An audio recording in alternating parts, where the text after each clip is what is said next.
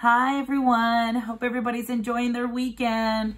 Um, I know we've been having a lot of fun. We've been playing water water gun fights and, and getting on teams and splashing each other with water and just enjoying being outside um, and having fun with family and friends. So I hope you guys, I highly recommend you guys go out there and, and just have some fun and laugh because laughter is always good for the soul. So I just highly recommend you guys going out there and just having fun if you're able to.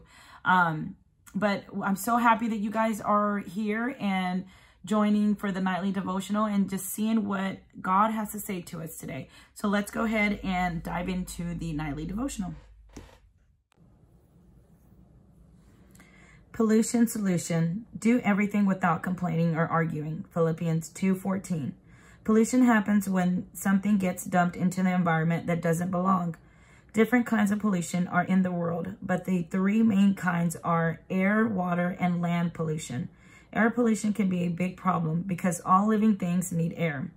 This kind of pollution happens when fossil fuels like coal, oil, and gas are burned. Car fumes and factory smoke are examples of air pollution. Water becomes polluted when chemicals, detergent, garbage, or even sewage gets dumped into the streams, rivers, or oceans. Land is mostly polluted by trash from litter on the other side of the road to massive garbage dumps and landfills. All the pollution is bad for the environment and bad for you. But there are ways you can help walk or ride your bike instead of taking a car. Pick up litter and put it in the trash. Recycle as much as you can. Turn off lights and electronics when you aren't using them. These, these may not seem like big things, but even small actions can add up to a lot. One other kind of pollution you can help get rid of is attitude pollution. This happens when you dump whining or anger words into the environment around you. Like all pollution, this this hurts the environment around you, and that means it also hurts you. Times will come when you're angry or upset because you have to do something you don't want to do. But throwing a fit and grumbling won't change a thing. Instead, take a deep breath and smile. Then tackle the chore as you are doing it for God. Colossians 3, 23. Because whatever you do for others, you also do for God. Complaining pollutes the air around you, but a joyful spirit may makes the environment better for everyone. God, some things I really don't want to do, like cleaning my room, taking out the trash, but help me remember that when I serve others, I also serve you. Help me make the environment around me better and brighter with a joyful spirit. Be amazed. One of the strangest pollution stories happened when a ship somehow spilled in its cargo into the middle of the Pacific Ocean. What was the cargo? 28,000 rubber duckies, along with a few rubber turtles, beavers, and frogs. Some of those duckies floated thousands of miles all the way to Alaska. So there you have it, guys. Um, so, you know, this is something, this is, this is interesting that I read this today because I've been struggling sometimes too when I'm like, want, not wanting to do something. And then sometimes I know that, that I, I know that I need to do it, you know, and I always remember like, this is something that's, that's dear to me because I, I struggle with this sometimes and I, I stop and I do uh, talk to God and I ask him, God, help me because today I don't want to do this. But I know once I talk to him and I actually do it and I, and I just, just do positive things for God, like I know that by serving others, like the, like the scripture says, Colossians 3.23, because whatever you do for others, you also do for God. And that's so true. So guys, if you just sometimes like if, when you don't want to like clean your room and your mother's asking you, you know, clean your room or, or always getting on to you. And sometimes you're like, I don't want to do that today. You know, instead of being upset about it,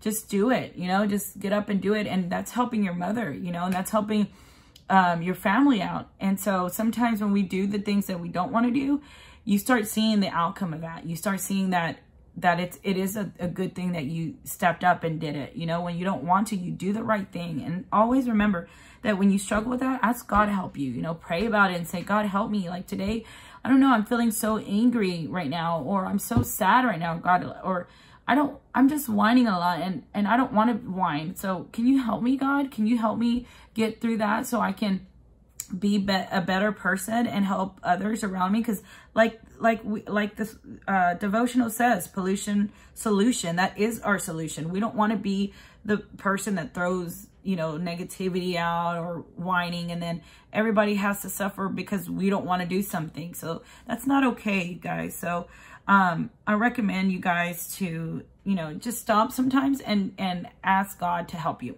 And he will he will help you get through it. And then you'll start seeing a lot of of joy seeing other people happy, you know? So that's just the way it works, you know? We're all here together, so we all have to do our parts and just and do do the right thing or do the things that we don't want to do and let's get out of being angry sometimes. And that's hard. I know that's hard people struggle with that. But just getting away from it and just praying and then asking God give me, like, you know, like the devotional says, you know, give me a joyful spirit, God. I want to be happy. I want to be joyful. Just like we were talking about, like going outside and having fun and, you know, playing playing games and laughing, you know, that is a joyful spirit. And then when you start being more joyful, you don't you, you don't even have the desire to like want to whine or you just want to make people happy. And so that just kind of to that produces out of you. And that's a great thing guys. So um so let's all of us work together to do that. Let's do it. Let's be a better person so we can be better in our environment around us in our community. So thank you so much for joining. I missed you guys and i hope to see you guys uh, tuned in next next weekend and see what, um, or, you know, our nightly devotionals for everyone, you know, all the other teachers doing it. Um, so let's, let's work at what we, uh, what, what we learned today. Let's work at that. And we'll go ahead and close with a nightly prayer. Dear Heavenly Father, thank you so much for this powerful word that you, you shared with us and you spread with us, Lord. Thank you so much. We we're we're understanding, Lord, that you know not every time are you expecting us to to be you know in that. Uh, not every you understand that not every day we're gonna have a happy day. We're gonna have our bad days and we're gonna have our good days. But God, we know that at the end of the day, you always help us through. You give us that joyful spirit, and we say close to you, God, and we pray and we talk to you, Lord. You always help us through. And, you know, forgive us for any of us that have you know, have not done so well. You know, help us be a better person and help us just influence others to be happy and spread the love, Lord. At the end of the day, that's all you want from us is just to get gather in your name and praise you and be be kind to each other, Lord. You want us you you command us, you know, to love one another and I ask that you help me um, as I struggle through that as well, Lord, and help others that are listening today, all the kids, help them as well. And thank you so much for always being a kind father to us. And today is Father's Day, and I just want to thank you, Lord. Thank you so much for being our father, being our father and teaching us and disciplining us and and showing us the way of living, Lord, because it's ultimately your way, Lord, and it's better your way, Lord. Thank you so much for being a, a, a, a, a great, great God that we have and, and love to serve. Thank you for everything you do for us. And all these things we pray. In the name of Jesus, amen. Okay, guys, see you later. Have a good one.